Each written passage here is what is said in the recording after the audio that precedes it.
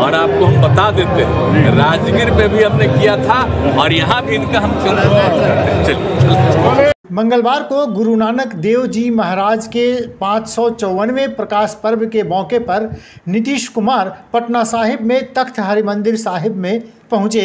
तो वहाँ एक अजीब वाक्य हुआ। इसीलिए नीतीश कुमार के इस दौरे को लेकर तरह तरह की बातें हो रही हैं। पिछले दिनों राजगीर में गुरु नानक देव के प्रकाशोत्सव के दौरान मुख्यमंत्री नीतीश कुमार ने अचानक यूके से आए सिख डेलीगेट, सिख जत्थेदार बाबा मोहिंदर सिंह की पैर छू लिए थे। जिसको लेकर बीजेपी ने सीएम नीतीश पर जमकर हमला बोला था और खूब राजनीति भी हुई थी। बीजेपी नेता और बिहार के पूर्व डिप्टी सीएम सुशील मोदी ने यहाँ तक कह दिया था कि नीतीश कुमार कुर्सी के लिए कुछ भी कर सकते हैं और किसी के भी चौखट पर नाक रगड़ सकते हैं।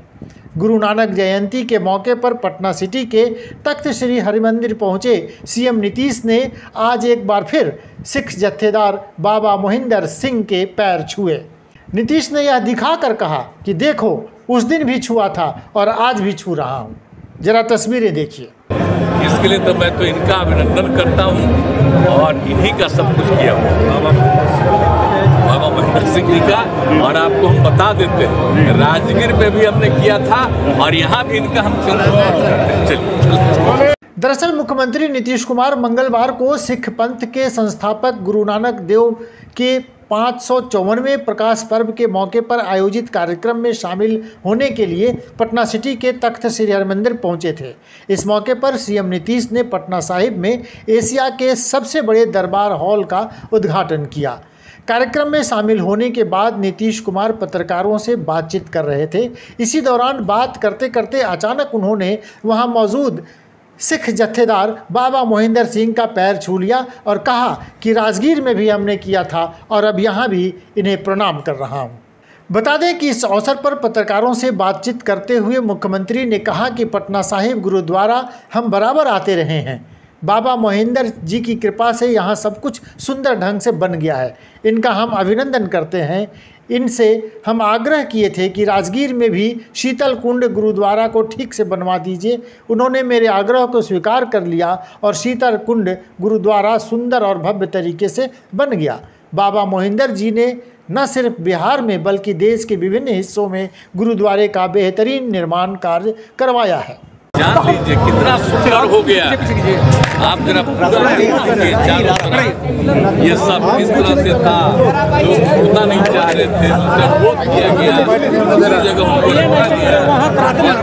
बढ़िया बस करके तैयार हो गया। आप जरा सोच लीजिए। तो इस जगह पर तो इनका अरे भाई इनका हम अभिनंदन करते और यही पर आप जान लीजिए जब कर रहे थे तो एक इनसे हमने आग्रह कर दिया था ले रहे हैं बोल रहे हैं सर? सर बोल रहे हैं। सर बोल रहे हैं आराम से बोल रहे हैं। बना रहे हैं। वही चले गए वहाँ हमने कहा कि चलिए ना वहाँ ठीक करिए। अंबेडकर जी का। तो कैसा सुंदर बन गया वो भी। तो इनकी कृपा है। और हम तो अनेक जगह पर गए अनेक जगहों पर देश के विभिन्न हिस्सों में आपने सब जगह करवाया। तो हम तो इनका अभिनंदन करते हैं। बहुत अच्छा। लेकिन नीतीश जी से कोई पूछे कि यह कौन सा तरीका है नीतीश जी? कैसा प्रणाम है कि आप कहते हैं कि लो, मैं आज भी पैर छूता हूँ।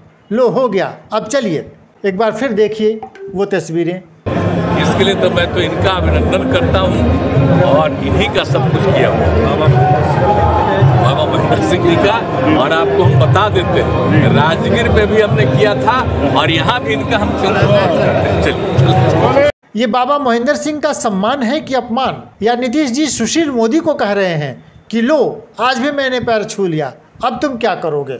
Bureau report, Vimarsh news.